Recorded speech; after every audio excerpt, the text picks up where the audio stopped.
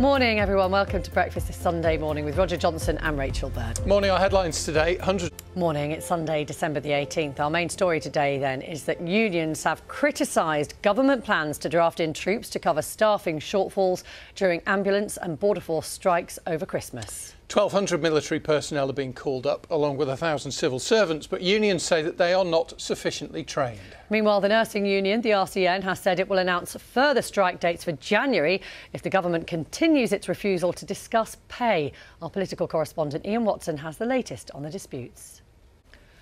A vigil has been held for four boys who died after falling into a frozen lake in Solihull. The accident happened a week ago at Babbs Mill Park, where hundreds of people gathered yesterday to pay tribute. Natasha Turney was there. Now, Ukraine's President Zelensky says that the country has managed to restore power to almost 6 million people after massive Russian strikes against electricity generating system. Ukrainian officials said Russia fired more than 70 missiles on Friday, forcing emergency blackouts nationwide. Hugo the family of a woman who died after being injured at a gig in South London say that she was full of care, kindness and love. 33-year-old Rebecca Ikumelo, mother of two and a nursing graduate, was hurt in a crash at the O2 Academy in Brixton on Thursday night. Two other women remain in a critical condition. Simon Jones reports.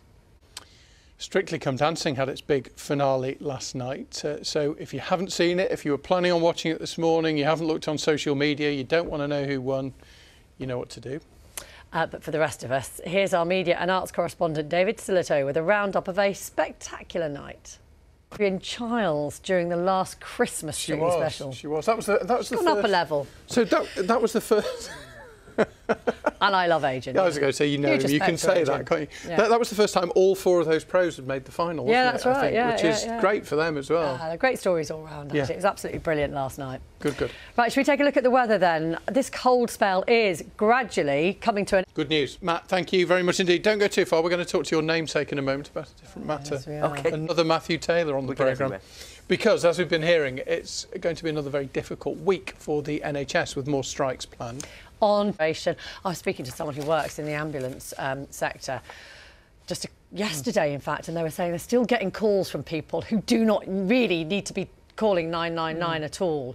So there is still going to be that issue there. But nonetheless, the, the, the um, a senior official from NHS England, Sir Jim Mackey, has said that the strike action by ambulance teams in particular represents a completely different order of magnitude of risk compared to nurses' strikes. So they are really worried about the impact of all of this. So, yeah, just be very, I suppose, wary over the next few days. Um, just uh, two of the strikes, the nurses and the uh, ambulance workers. You can find out more about all of the December strikes, including a full run.